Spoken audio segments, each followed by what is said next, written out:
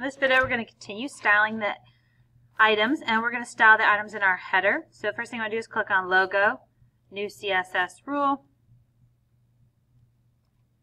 And I just want to style my logo here. And I'm going to go ahead and go into Box and give it a height of 100 pixels. I decided 110 pixels would be good.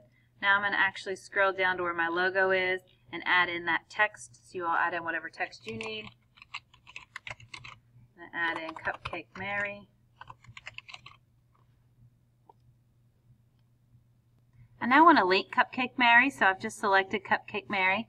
And down here I'm going to link it to the actual website.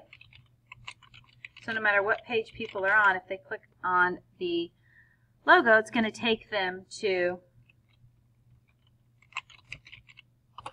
the main page. And I always like to set a target. And I went ahead and gave this an ID, CCM-logo, and it went ahead and added that ID for me. I can then click the new CSS rule, and it's going to pull up that ID, and then I can start styling it how I wish. You then want to set the background for this logo. So I clicked on background, clicked on Browse. You're going to go find the logo that you may have created in Photoshop. I'm going to set the width and height to the same as the picture.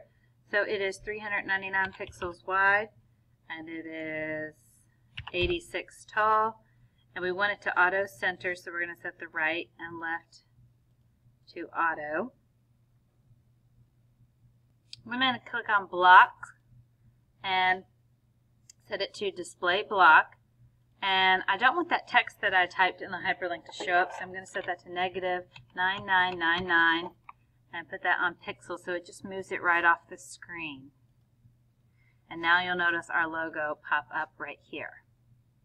We're now going to style our banner, so I'm going to click on banner, go to new rule over here, hit OK, block, under text align we're going to choose center and then go to box and under height 128 pixels. And now we've got a section for our banner. Go ahead and add in your banner. So I clicked in the banner div, went to insert, image, found my banner, and clicked OK. You can always add alt text. This is my banner. And now the banner pops up there.